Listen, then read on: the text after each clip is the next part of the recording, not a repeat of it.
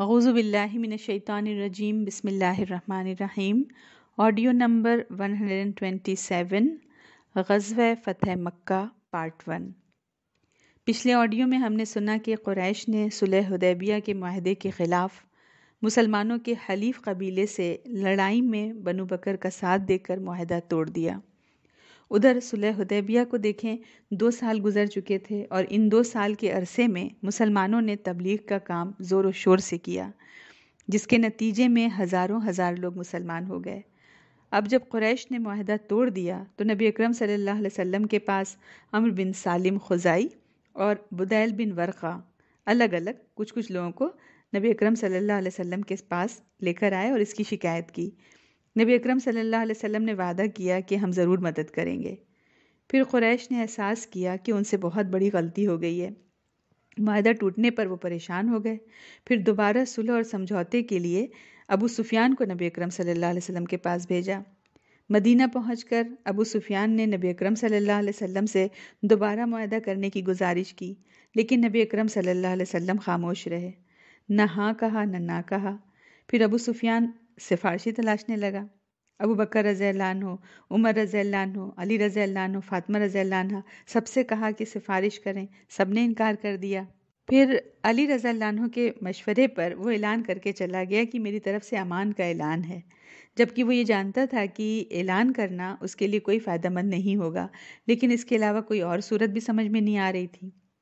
آج اس سے آگے سنتے ہیں۔ اب امان کے اعلان کے بعد ابو سفیان اپنے اونٹ پر سوار ہو کر مکہ واپس لوٹ گیا۔ جب مکہ پہنچا تو سارے لوگوں نے گھیر لیا۔ کیا ہوا؟ کیا ہوا؟ تو ابو سفیان نے بیٹی کے بارے میں تو چھپا دیا کہ یہ تو بڑی بےزتی کی بات ہے کہ میرے لیے بستر سمیٹ دیا۔ کہا کہ میں ابو بکر سے ملا، اس کے اندر تو کوئی خیر ہی نہیں۔ عمر سے ملا، اس کو تو بڑا غضب کا پایا۔ وہ تو ہمارا بہت کٹر دشمن ہے۔ بس علی کو تھوڑا سافٹ پایا۔ علی نے ایک مشورہ دیا، بس اسی پر عمل کر کے واپس آ گیا۔ لوگوں نے پوچھا، کیا مشورہ دیا؟ کہا کہ اس نے کہا کہ لوگوں میں امان کا اعلان کر دو۔ تو لوگوں نے پوچھا، تو تمہارے اعلان کے بعد کیا ریسپانس آیا؟ ابو سفیان نے کہا، کچھ نہیں، سب خاموش۔ تو لوگوں نے کہا، علی نے تو تمہارے ساتھ اچھا مذاق کیا۔ ابو سفیان نے کہا، اس کے علاوہ کوئی صورت ہی نہیں تھی۔ ہم دیکھیں، نبی اکرم صلی اللہ علیہ وسلم نے پھر صلح کیوں نہیں کرنی چاہی؟ اس پر علماء کہتے ہیں کہ صلح یا جنگ وہ ریولیوشن کے تقاضے کے تحت ہوتی ہے۔ نبی اکرم صلی اللہ علیہ وسلم کو پتہ تھا کہ مجھے جو ٹارگٹ دیا گیا ہے وہ کیا ہے۔ الزی ارسل رسول بالہدا و دین الحقی علی الدین کلی تمام ادیان باطلہ پر دین کو غالب کرنا ہے۔ اس کے لیے سب سے پہلا ٹارگٹ خانہ کعبہ کی آزادی ہے۔ قدرت موقع دے رہی ہے ان کی غلطی کی وجہ سے تو ان کی غلطی کو اب کیوں معاف کریں؟ کیوں اب کفر کو پھلنے پھولنے کا موقع دیں؟ روایت میں یہ آتا ہے کہ جو یہ معاملہ ہوا تھا، بنو بکر اور بنو خزا کے جھگڑے والا، کہ بنو بکر نے بنو خزا پر رات میں حملہ کر دیا اور وہ بھاگ کر حرم میں چلے گئے۔ پھر بنو بکر حرم میں بھی گھس گئے، وہاں بھی دوڑایا تو وہ بدیل کے گھر جا کر چھپ گئے۔ تو پھر اس کے بعد عمر بن سالم کچھ لوگوں کو لے کر اور پھر بدیل کچھ لوگوں کو لے کر باری باری نبی اکرم صلی اللہ علیہ وسلم کے پاس مدینے میں آئے، شکایت لے کر۔ تو روایت میں یہ آتا ہے کہ عمر بن سالم کے نبی اکرم صلی اللہ علیہ وسلم کے پاس آنے سے تین دن پہلے ہی نبی اکرم صلی اللہ علیہ وسلم نے عائشہ رضی اللہ عنہ کو حکم دیا تھا کہ ساز و سامان تیار کر دیں اور ذرا اچھے سے تیار کریں۔ تو عائشہ رضی اللہ عنہ سامان وغیرہ پیک کرنے لگیں۔ ابو بکر رضی اللہ عنہ آئے، انہوں نے پوچھا، بیٹی کیسی تیاری کر رہی ہو؟ عائشہ رضی اللہ عنہ نے کہا، واللہ مجھے نہیں پتا رسول اللہ نے کہا ہے کہ تم تیاری کرو، تو میں کر رہی ہوں۔ تو پوچھا، کدھر کا ارادہ ہے تو عائشہ رضی اللہ عنہ نے کہا، مجھے نہیں بتایا۔ تو پوچھا، تم نے پوچھا تھا؟ کہ ہاں پوچھا تھا، لیکن نہیں بتایا۔ ابو ابو بکر رضی اللہ عنہ جو تھے، اب گیس کرنے لگے کہ قریش پر حملہ کرنے کو تو جا نہیں سکتے۔ دس سال کے لیے صلح کی بات ہے، رومیوں سے بھی جنگ کا وقت نہیں ہے۔ اور بھی پھر گیس کرنے لگے کہ نہ ادھر جنگ کا ٹائم ہے، نہ ادھر جنگ کا ٹائم ہے، کدھر جا رہے ہیں؟ پھر بعد میں جب یہ لوگ آئے ہیں، عمر بن سالم اور بدیل بن ورقہ، تب پتہ چلا کہ تیاری کدھر کی تھی۔ نبی اکرم صلی اللہ علیہ وسلم اس جنگ میں دو چیز اچیو کرنا چاہ رہے تھے۔ ایک تھا مکہ کو فتح کرنا اور نمبر دو، بغیر خون خرابہ کے فتح کرنا۔ خانہ کعبہ کی حرمت کو پامال کیے بغیر۔ اب اس کے لیے نبی اکرم صلی اللہ علیہ وسلم کو اسٹریٹجی بنانی تھی۔ اللہ تعالیٰ نے بھی نبی اکرم صلی اللہ علیہ وسلم کو دن کے تھوڑے سے ہی حصے میں پرمیشن دی تھی کہ ہاں خون خرابہ کی اگر ضرورت پڑے تو کر سکتے ہیں۔ ڈیفنس کے لیے یعنی دفاع کے لیے تو پہلے سے ہی حکم ہے کہ اگر کوئی مارے تو وہ بھی دفاع میں مار سکتا ہے، لیکن آفینس کے لیے اللہ تعالیٰ نے نبی اکرم صلی اللہ علیہ وسلم کو تھوڑا سا ہی ٹائم دیا تھا۔ دن کا کچھ حصہ کہ اتنے ہی میں آپ کو سب کچھ کر لینا ہے۔ یہ نہیں کہ دنوں مہینوں حرم کی حرمت پامال ہو۔ نہیں، ایسا نہیں۔ کیونکہ نبی اکرم صلی اللہ علیہ وسلم نے جیتنے کے بعد جب فتح ہو جاتی ہے مکہ مکہ کی، تو اس کے بعد جب تقریر کی ہے نبی، آگے انشاءاللہ ہم لوگ اس پر بات کریں گے جب فتح مکہ کے بعد، تو اس میں یہ بات کلیئر کر دی کہ اس کے بعد کوئی حرم میں لڑائی نہیں کر سکتا اور میری جو یہ ایکٹیویٹی کو بیس بنا کر کوئی سنت نہیں قائم کرے گا۔ میرے لیے خاص اللہ تعالیٰ نے پرمیشن دی تھی دن کی کچھ گھڑی میں آفینسو مطلب لڑائی کے لیے۔ جو خانہ کعبہ ہے، خانہ کعبہ کی تو حرمت قیامت تک کے لیے ہے۔ نبی اکرم صلی اللہ علیہ وسلم کی تو پوری کوشش تھی کہ اس مہلت کے پیریڈ میں بھی خون خرابہ نہ ہونے پائے۔ یعنی نبی اکرم صلی اللہ علیہ وسلم جو چاہ رہے تھے کہ وہ بلڈ لیس وکٹری ہو ایک طرح سے۔ اس لیے نبی اکرم صلی اللہ علیہ وسلم نے یہ اسٹریٹجی بنائی کہ سامنے والے پر ایسی حیبت تاری کر دی جائے کہ اس کو لڑنے کی ہمت ہی نہ ہو سکے۔ اس کی ہمت جواب دے جائے، وہ ہتھیار ڈال دے۔ فتح ہو جائے گی، اس کے بعد ہم ان کو عام معافی کا اعلان کر دیں گے۔ لیکن قریش تو قریش تھے۔ یہود کی طرح تو تھے نہیں کہ ہتھیار ڈال کر چلے جائیں گے، جیسے بنو قینقا بنو نذیر و بنو قریضہ انہوں نے کیا تھا، ان کی طرح نہیں۔ یہ تو مرنے مارنے والے تھے۔ جیسے ابو جہلی کو دیکھیں نا کہ جب اس میں بدر کے موقع پہ جب اس کی گردن کاٹ رہے تھے، تو کیا کہا تھا ابو جہل نے کہ تھوڑا نیچے سے کاٹو تاکہ پتہ چلے کہ کسی سردار کی گردن ہے۔ لوگ دیکھیں گے۔ تو یہ تو قریش تھے۔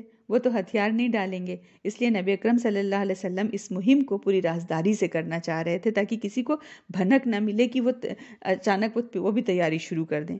اس لیے نبی اکرم صلی اللہ علیہ وسلم اچانک فوج لے کر مکہ کے ارد پہنچنا چاہ رہے تھے۔ اور کسی کو بھی نبی اکرم صلی اللہ علیہ وسلم اور اسلامی لشکر کے نکلنے کی انفارمیشن نہیں ملنی چاہیے۔ ورنہ مکہ پہنچنے میں اور تیاری میں دس پندرہ دن جو بھی لگیں، اس پیریڈ میں وہ تیاری کر لیں گے۔ پھر اس کے بعد کیا ہوگا؟ ایک جنگ اور لڑائی کی شکل بنے گی اور مکہ میں، حرم میں خون خرابہ کرنا ہو جائے گا اور نبی اکرم یہ نبی اکرم صلی اللہ علیہ وسلم یہ چاہ نہیں رہے تھے۔ تو اس لحاظ سے نبی اکرم صلی اللہ علیہ وسلم نے پورا سیکرٹ رکھا۔ کسی کو بھی نہیں بتایا۔ یہاں تک کہ عائشہ رضی اللہ عنہ کو بھی نہیں بتایا۔ یہاں تک کہ ابو بکر رضی اللہ عنہ کو بھی نہیں بتایا کہ کس کس چیز کی تیاری ہو رہی ہے۔ تو ہم سمجھیں کتنا رازدارانہ طریقے سے نبی اکرم صلی اللہ علیہ وسلم مکہ میں پہنچنا چاہ رہے تھے۔ لیکن جب ابو سفیان آیا اور بنو خزار کے لیے وہ جو سفارشی ہے، تب لوگوں کو تھوڑا تھوڑا ہنٹ مل گیا کہ شاید تیاری اس لیے ہو رہی تھی۔ اس میں بھی نبی اکرم صلی اللہ علیہ وسلم نے ایک ٹیکٹس استعمال کی۔ وہ کیا؟ ایک صحابی تھے ابو قطادہ رضی اللہ عنہ۔ ان کو آٹھ لوگوں کی فوج دیکھ کر مکہ کے اپوزٹ سائڈ میں ایک جگہ پڑتی ہے بطن اعظم وہاں بھیج دیا۔ ان سے کہا، وہاں پہنچو۔ پھر آگے کیا کرنا ہے؟ اطلاع مل جائے گی تاکہ سارے لوگوں کا دھیان ادھر چلا جائے کہ بطن اعظم کے سائڈ میں کوئی جنگی مہم کی پلاننگ ہے۔ جبکہ جانا بالکل اپوزٹ سائڈ میں تھا، مکہ کی طرف۔ ایسا ہی ہوا بھی۔ خبریں یہی پھیلیں کہ بطن اعظم کی طرف اسلامی لشکر نکلنے والا ہے۔